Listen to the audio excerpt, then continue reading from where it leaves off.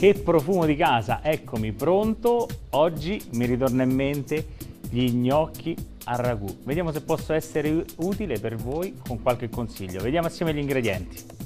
Patate bollite 1 kg, farina 00 400-500 g, 2 tuorli d'uovo, sale, noce moscata e questo è sufficiente per realizzare gli gnocchi. Le dosi che vi ho appena dato sono per fare gli gnocchi, quindi curerò più gli gnocchi e qualche consiglio dal ragù. E proprio dal ragù il primo consiglio che mi sento da dare, perché l'ho visto fare tante volte, vedo mettere l'olio, le verdurine, la brunoise, farle rosolare, poi mettere la carne. Io nel tempo ho escogitato un'altra tecnica perché uno dei problemi che si ha anche quando si fa il ragù è che la carne non viene mai sbriciolata bene. Allora vi faccio vedere una cosa.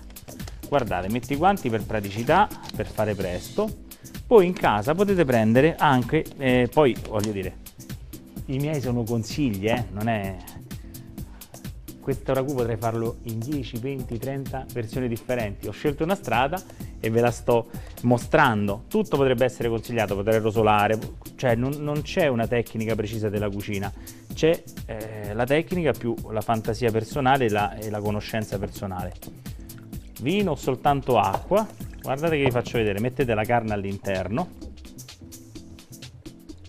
Mettete l'olio quello che è sufficiente. E adesso fate questo lavoro con i guanti. Faccio vedere cosa succede. Anzi lo facciamo proprio in diretta assieme a voi. Vi faccio vedere come la carne si sbriciola e si cuoce. È sempre una questione di tecnica. Questo lavoro intanto a freddo ve la fa già sbriciolare. Quando la metto sul fuoco al momento che l'acqua è evaporata la carne rimane tutta sbriciolata, metto ancora un pochino di vino. Da quel momento in poi, io vi dico come l'ho fatto, eh? poi la scelta delle carni, delle materie prime, cioè qui è un altro discorso. Però provate, provate a fare questo lavoro. Mettete qua olio, vino, acqua e carne, accendete il fuoco e andate avanti. Così vi ho dato un consiglietto per la carne. Poi qui accendiamo direttamente e lo portiamo avanti. Fate questo lavoro, dedichiamoci ad altro. Qui al mio banco dei formaggi, pensando agli gnocchi a ragù e alla domenica e al desiderio di stare assieme con la famiglia, prendo anche un caciocavallo stagionato, lo proviamo assieme a voi, perché chi mi segue sa la passione che ho anche come per i vini, per gli oli, per tutti gli alimenti in cucina e il rispetto. Formaggi, quando possibile, anche per le paste, li grattugi al momento c'è la famosa temperatura, l'ossidazione, a prescindere poi della materia prima. Questa oggi è una materia prima che abbiamo qui grazie al nostro amico Anteo di Castrocelo che ci permette di provare questo prodotto. Questo è un caciocavallo di bufala, io lo metto qui e lo provo assieme a voi, sto cercando di assaporarlo, ne taglio un pezzettino, adesso andiamo così, tolgo la crosta e ne grattugiamo un po' perché lo voglio mettere fresco sugli gnocchi. Togliamo questa cera questa parte protettiva e subito ciò così. Ah, questa cosa mi ricorda sempre da casa. Ci vorrebbe la grattugia quella d'acciaio con sotto il piede al lavoro dedicato ai bambini.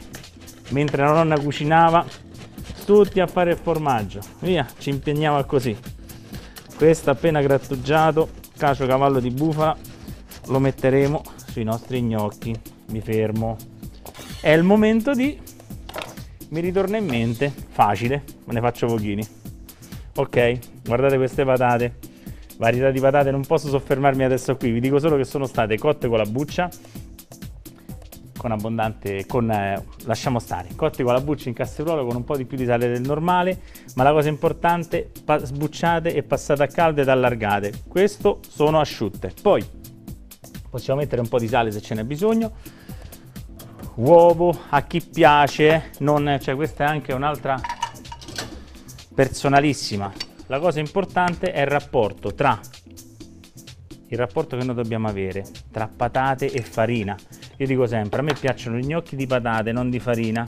Quindi come avete visto io vi ho detto un chilo di patate eh, un chilo di patate cotte perché è differente il peso di un chilo di patate crude da quello di un chilo di patate cotte. Così non le lavorate tanto eh. qui potete mettere spezie o quello che vi pare. La farina su un chilo di patate non mettete troppa farina eh. questo è il lavoro da fare. Qua. E poi mentre le paste pizze andiamo a farle diventare collose gli gnocchi potete anche solo tra le mani passarli così farli rapprendere. Un consiglietto. Io lavoro sempre all'interno del tavolo per non sporcare a terra eh? è un'abitudine no? Non li lavorate tanto. Eccoli qua sono già pronti. Qua così. Una cosa facile con la farina fate questo lavoro. Ecco qua. Pronti eh? ristringete tutto e gli gnocchi sono pronti perché lavorandoli tanto qui potrei fare veramente forse un'ora solo su consigli su cottura di patate e gnocchi ma noi andiamo veloci. Patate belle asciutte lavorati non le lavorate troppo perché altrimenti diventa una massa collosa che le patate contengono amido e lavorandole poi vi si rovinano. Qua, qua facciamo così. Sono pronto ultimo impastatina morbidi morbidi tra le mani. Così ecco così già è sufficiente eh? qua. Vedete faccio attenzione a questa cosa questo formaggetto lo togliamo sto cercando spazio, spazio per tutti. Per voi. 1 2 3 no qua. La farina ne metto tanta perché poi posso anche toglierla. Faccio vedere come toglierla qua. Ah.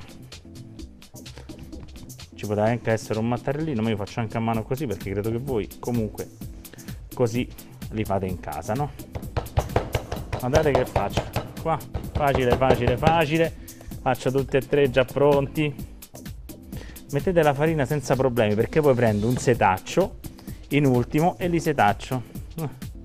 Quindi qua per voi è questo. Non vi preoccupo della farina trinciante. Ok andiamo avanti qua. Andiamo avanti qua avanti qua mettete farina così in questo modo e poi fate questo lavoretto. Andate ta. No, li, fate, li rendete rotondi no?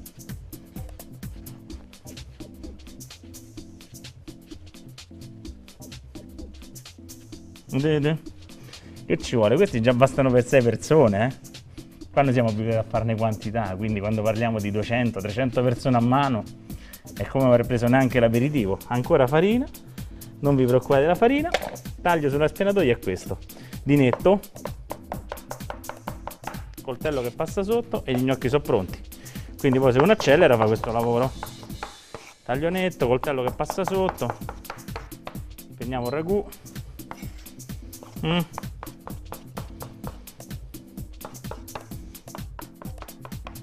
coltello che passa sotto. Eccoci qua. Guardate un po' quanti bei gnocchetti poi se volete fare un lavoretto carino prendete anche la forchettina e ve ne andate giù in questo modo guarda qua.